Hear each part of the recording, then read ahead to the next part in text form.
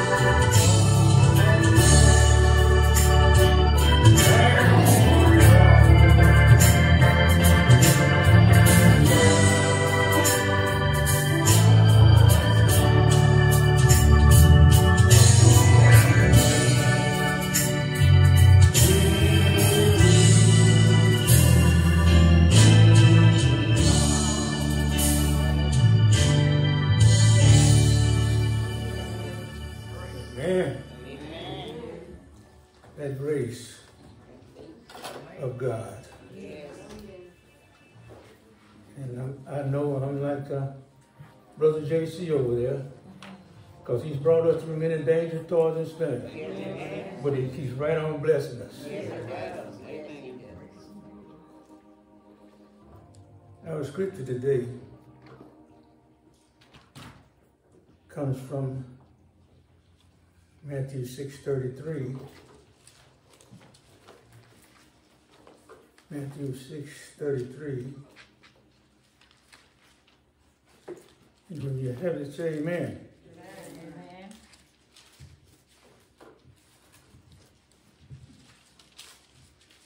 It reads,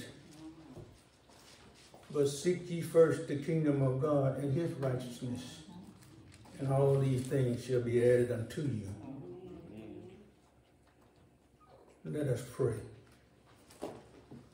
O gracious, merciful, and mighty Father, we've come this morning, dear Lord, with bowed heads and humble hearts. Giving you thanks and praise, dear Lord, because you are worthy of it all. Thanking you, dear Lord, for another day's journey Thank you, Lord. in this thing we call life. Thank you, Lord. We thank you, dear Lord, for waking us this morning, Thank you. closing our right mind with the use of our limbs, dear Lord, to come out once again to the house of prayer. Father, we thank you for our pastor, dear Lord, this morning. Thank you.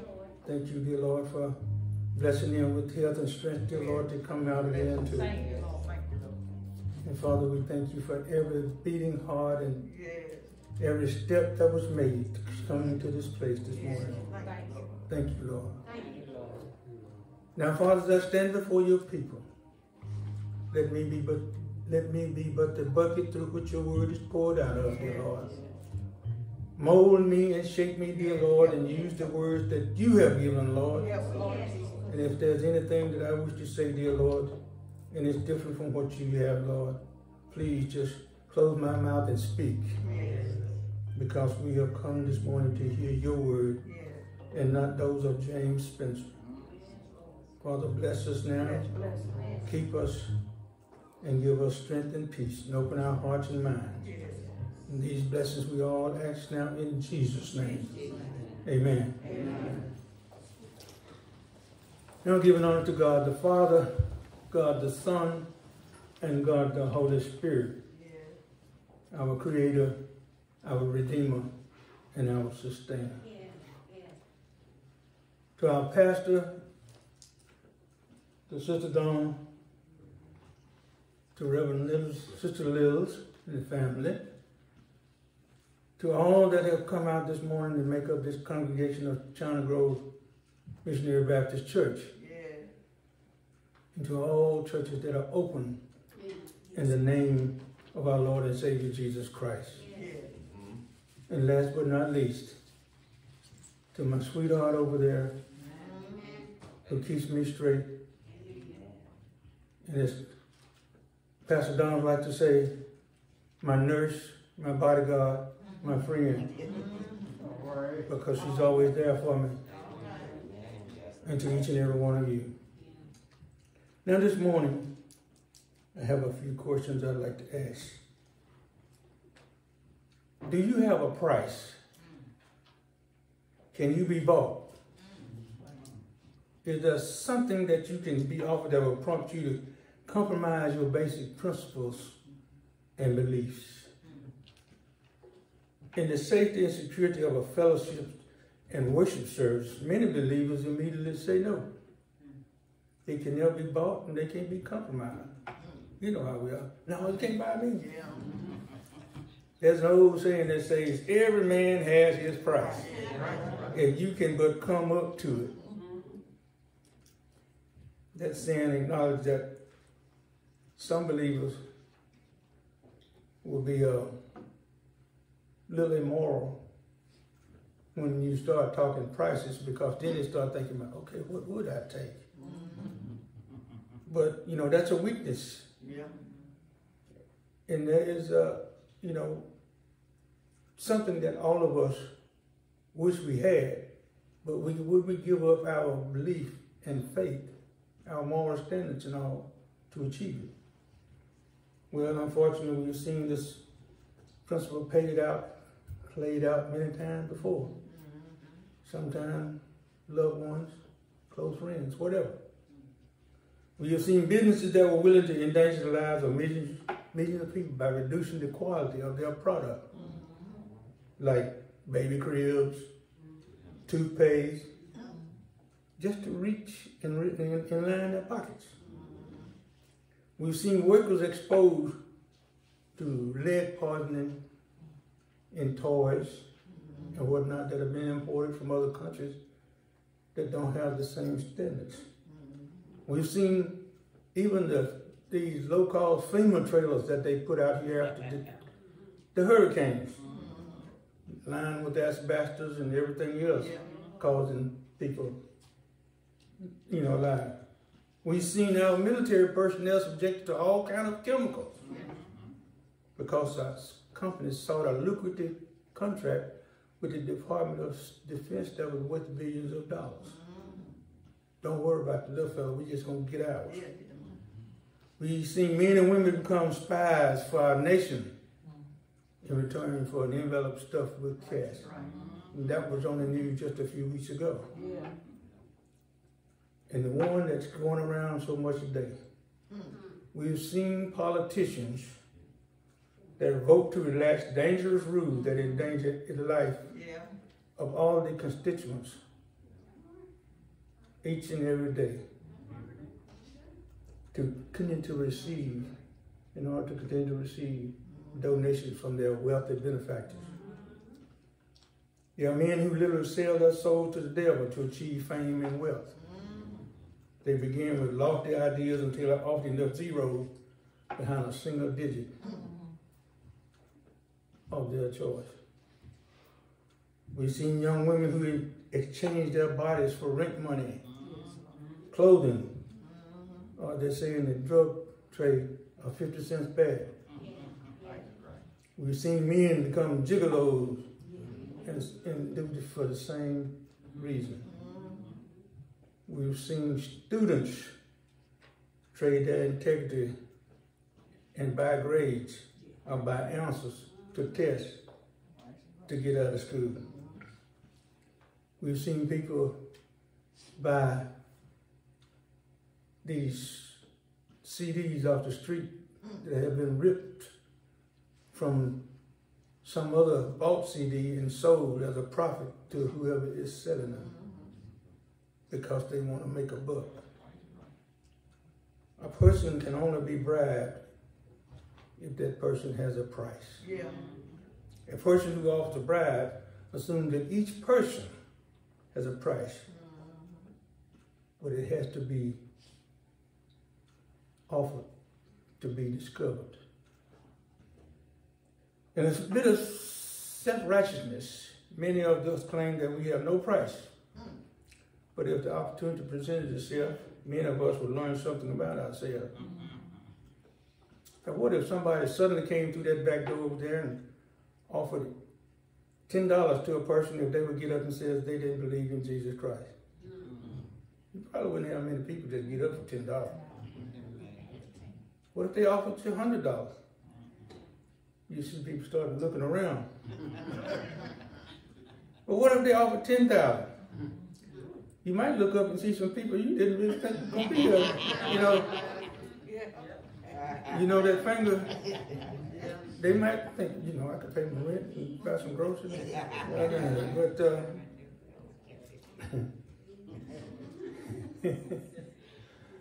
but uh, when you ask the question in your mind, how much would the offer need to be before you move? As I said earlier, you already named your price.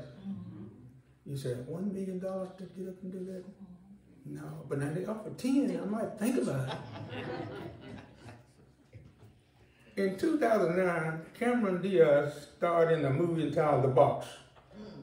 Now, in this movie, Diaz, was facing financial trouble, was given the option to push a button on a black box that would deliver to her door anonymously. She was later told that if she pushed the button, it would receive, she would receive a briefcase of one million in cash. However, somewhere in the world, someone, but that someone in the world would die if she pushed that button. She didn't know this person, so hey, what is? I get a million bucks just to push a button. Are we like that? Well, I don't know who's gonna be who's gonna be hurt or whatever, so I just go ahead and do it. You've already compromised your belief and your moral.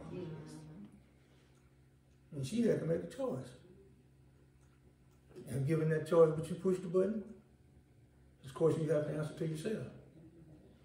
That seems like a moral challenge, then we should realize that there are people who are making this decision on a daily basis. Yeah.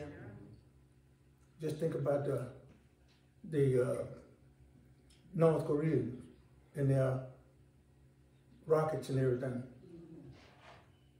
How can you stand there and think about the atrocities that you will create punching this button? Well, I won't just say that North Korea, we could have the same thing going on in the United States. You stand there and push this button knowing that on the other end of that button is a dangerous weapon that could cause mass casualties somewhere in the world. Hmm. And just because you push that button and that rocket or whatever is aimed in a direction, it doesn't mean that the wind is not going to change the trajectory of it. It might not hit in the pinpoint location that you thought it was going to hit in. So you just got rid of a whole bunch of people. Now, what kind of conscience would you have?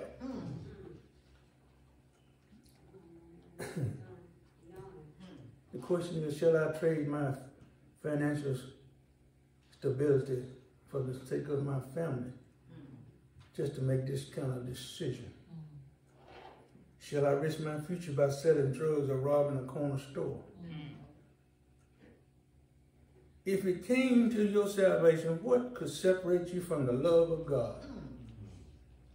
How much would it take to get you to stop going to worship, reading your Bible, or assembling with saints if you were offered a large check that would increase each week on the condition that you don't attend a worship service, read a Bible, or acknowledge God in any way? Say you start off with one million dollars this week, next week is 1 million five, and it goes up every week. Would you stop coming to church, read your Bible, or acknowledge that God is still God? I don't think so. I don't think so. Well, I know so. I wouldn't. Because no amount of money can pay for the salvation of the atoning blood that Jesus Christ died for each and every one of us. We are here because of Him, not because of how much we have. Because we have nothing. All of everything was created by God. And we are just using it while we are here. There was once a play entitled The Devil and Daniel Webster, in which a man made a deal with the devil. He offered his soul for seven years of prosperity. But the devil made a better deal. He said, I give you 10. But soon after, the devil came to collect. You know, there's uh, a show on TV used to called Cops. What you gonna do when he come for you? What you gonna do when he come for you? The devil always come to collect. Yeah. right. That's what we are. To stay close to God. And never trade anything for our faith in him. As Christians, we are resolved to make no bargains with the devil that will separate us from the love from the Lord. Like Paul, we stand firm on the words of Romans 8, 38 and 39. For I am persuaded that neither death nor life, nor angels nor principalities, nor powers, nor things present, nor things to come, nor height, nor depth, or any other creature shall be able to separate us from the love of God, which is in Christ Jesus our Lord. Now, this, I don't think I gave you a subject for this, but it is a bargain with the devil. A bargain with the devil. And the text actually focuses on Judas as we strike a bargain with Christ's enemies, as he strikes a bargain to, uh, with Christ's enemies to betray him. Now, Judas was a member of a revolutionary group that wanted to fight against the Romans and return Israel to a free and independent state. Many scholars believe that Judas was frustrated that Jesus would not take advantage of his immense popularity to mobilize the people into an army that could defeat the nation's enemy and establish the kingdom of heaven at the same time. He was even more frustrated that they believed when he heard Jesus speak about turning the other cheek and loving your enemy. He didn't mm-hmm. think that was right. There are generally two schools of thought when it comes to Judas' motivation. Some scholars believe that Judas went to the religious leaders hoping that Christ's arrest would push Jesus into action mm. and motivate the people to revolt. Mm. It was not a matter of money with Judas because the 30 pieces of silver was only worth about $15. Hmm. He would trade Christ for what he believed to be a higher cause, the freedom of the people. Now, another group of scholars believe that Judas was simply greedy. They say he saw an opportunity to profit personally from Jesus' arrest, and he seized it. He took the moment. This was the same Judas who complained when a woman took oil from an alabaster box and anointed Jesus' feet. He thought that was a waste of good oil and could have been sold. Jesus was the keeper of the disciples' funds and had a mercenary interpretation of nearly everything. We can use this for this and we can use this for this, all the while collecting and spending. And in either instance, Judas did not expect Christ to be crucified. He expected him to use his divine power and free himself and liberate the people. When he didn't, when Jesus didn't do that, Jesus gave back the money, but found that he would not be excused from his body. So what did he do? He hanged himself. When Jesus began his ministry, just the opposite of Judas' situation happened. Jesus fasted and was tempted. The devil appeared to him and offered him not one but three bargains. Each of the bargains sought to tap what the devil thought would be human vulnerabilities. Because he thought that Jesus had a price. But Christ turned down each one, choosing to depend on the promise of God for the salvation of mankind. You see, some people are chasing the devil to make a bargain. Mm-hmm. One of the new things about this text is that the religious leaders did not have to come to Judas. He came to them. Yeah. There are many today who are doing the exact same thing. The devil, in some cases, probably didn't have us in his radar until we went to him trying to make a deal. When two people commit adultery, it's not like that both of them approached each other at the same time. One made the first move, and the other one accepted. Mm-hmm. Just like the devil. There are many today who are not being chased down by the devil, they are chasing the devil down, trying to make a quick dollar. Street corner, street corner drug dealers just stand on the corner with that merchandise. Mm-hmm. They, the, the, the word now, you don't call them street corner drug dealers anymore. They call them street pharmacists. Mm-hmm. Street, and they just stand on the corner with their merchandise, and people come to them mm-hmm. and make a deal. The man who sells hot videos and CDs just walks around with a bag full of ripped CDs. And people are chasing them down just to buy some of these cheap CDs. Go to go to the the, the, the, uh, the record store, that CD may cost you, you know, 15, 20 bucks. And this guy said, Oh, I'll let you have that one for five. It's the one you've been looking for. He didn't have to chase you down. You knew you had this this counterfeit stuff. If this show us anything, it should reveal to us that when you run to the devil, he won't turn you down. Oh, he thinks he's got another one. It's like that old song said, it's me again, Margaret.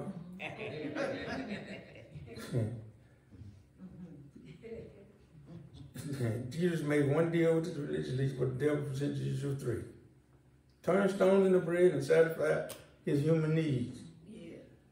To worship the devil and free himself from being plagued by the devil's plots and tricks that will follow him all through his ministry. To throw himself off the side of a mountain in full view of thousands of people below who witnessed when God sent angels to catch him before he hit the ground. All three of the temptations would have jump-started Jesus' career with popularity, fame, and certain world power. There would be no doubt that he would be the one true Messiah Yeah. because he would be the one man who could turn stones into bread and be rescued mm-hmm. by angels dispatched from God. He could change the world from such a position. He could order governments to follow the rule, outlaw hypocrisy, and open the floodgates of opportunity for thousands. But he was presented with a quick opportunity to do anything. Yeah. But what- wouldn't do the one thing that he came to do. Mm-hmm. And that's obey the will of the Father. Yeah. Mm-hmm. He didn't come for himself. No. He came because of who sent him. And in his dying breath, he says, Not my will, but thine. I didn't come to do this for fame and fortune. But you know the one thing about it all? He followed God's will. Yeah. And there's not a more pronounced name in all of the world today than that of Jesus Christ. Yeah. Never went to a seminary. Never had a, a, a true following of people that was educating him about anything. But he has changed hundreds and millions and billions of hearts throughout a lifetime. And it ain't stopped yet. His fame is greater than anything that Satan could have ever offered. Thank you, Lord. And his teachings are universal. Jesus refused all of Satan's temptation and went the long way around. Mm-hmm. It was a way of sacrifice and pain, Yeah. but it provided what the Father sent him to do. Yeah. Thank you, Lord. The devil wants to make a deal with each believer today. Amen. He's trying his best to give us our, give him our soul, but we should not fall prey to his promises. Because the only true promises and the one that you can depend on comes from God. And he gives us promises and as he said in, in Malachi, he never changed. He never changed. Finally, my brothers and sisters, while we are some running to the devil and others are being propositioned by the devil himself, we need to maintain our trust in the promises of God. We can't maintain our prom- our trust in God. We have lost already. Bargaining with the devil are fruitless because they usually end without destruction in some way or other. But they that wait on the Lord shall renew their strength. And mount up on wings as eagles. They shall run and not be weary, and walk and not faint. God has proven time and time again that if we seek Him first, that He will make a way for us. Same promises that God made in biblical times still apply today because God is still the same. Mm-hmm. When the devil tries to make a bargain, we should tell him to get thee behind me because we have decided to keep trusting in the Lord. We trust in the Lord because history has shown that those of us who trust in the Lord face the unknown fear without fear. We trust in the Lord because saints who have trusted him have been rewarded with answered prayers, a few earthly presents, and heavenly glory. Mm-hmm. We are not by ourselves. No. Noah trusted the Lord and he brought him through the great flood. Yes, he did. Abraham trusted the Lord and he showed him the lamb in the bush. Yeah. Ruth trusted the Lord and she found happiness while gleaning in the field. Yes. Moses trusted the Lord and he led Israel out of bondage. Daniel trusted the Lord and he protected him from the lion Yeah. den. The three Hebrew boys trusted the Lord and he shielded them in the fiery of furnace. Trust. I don't need to bargain with the devil because if I'm sad, the Lord will be my fountain of joy. If I am at fault, the Lord will be a stronghold of forgiveness. If I'm weak, the Lord will be my pillar of strength. Yes, he will. If I'm discouraged, the Lord will be my pool of inspiration. If I am defeated, the Lord will be my crown of victory. Yes, he will. In darkness, he will be my light. Uh-huh. If I'm lonely, the Lord will be my friend. Yeah. If I'm helpless, the Lord will be my help. Yeah. No wonder the songwriter declares, The Lord is my light and my salvation. Whom shall I fear? Hold to his hand. God's unchanging hand.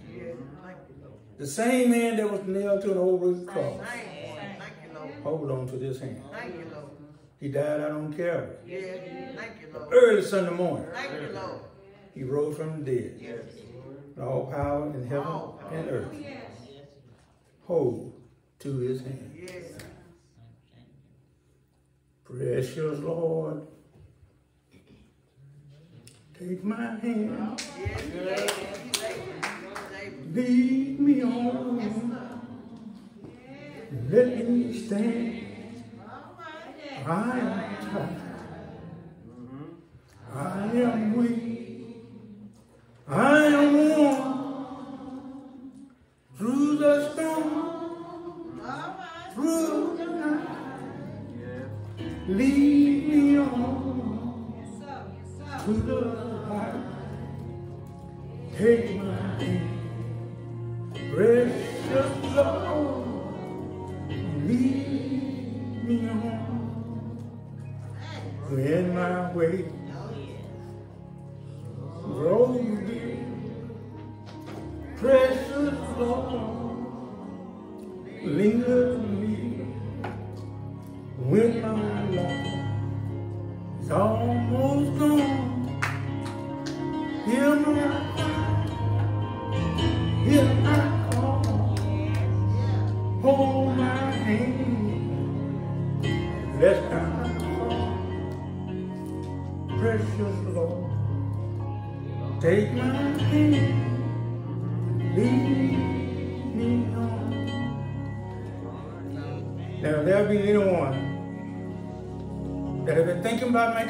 deal, with the devil, I beseech you this morning to think about the benefits of serving a true and living God. Come this morning and offer your soul as a living sacrifice to the only true and living God. Because as the scripture says, praise the Lord and forget not all his benefits. It's greater than anything Satan has to offer. Can we see one come this morning?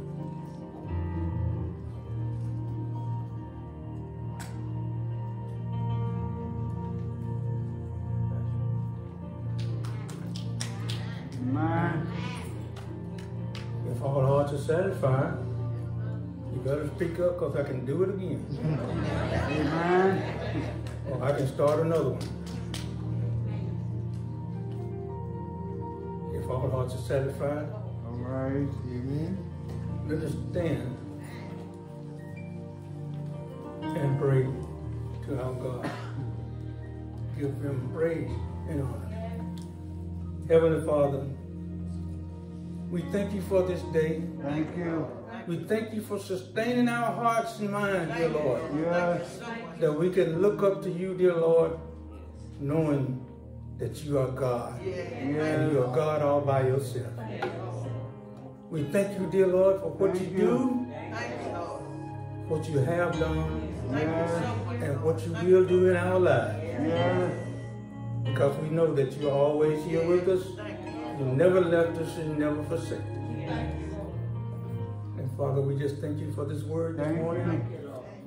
Thank you, dear Lord, for opening our hearts and minds that somewhere in this message this morning, dear Lord, somebody had a seed planted. And Father, we just thank you for our pastor this morning. Thank you for his health and strength, for him to be back here this morning. Now, Father, as we prepare now to leave this place, but never your presence, we ask your Holy Spirit to indwell in each and every one of us, dear Lord, and guide us through this day and each step along this journey. Keep us in your care. Protect us from all the evil and dangers of this world. And keep our feet in the right path, dear Lord, walking into your righteousness. We ask these and all blessings in Jesus' name. Jesus. Amen, Amen. amen, and amen.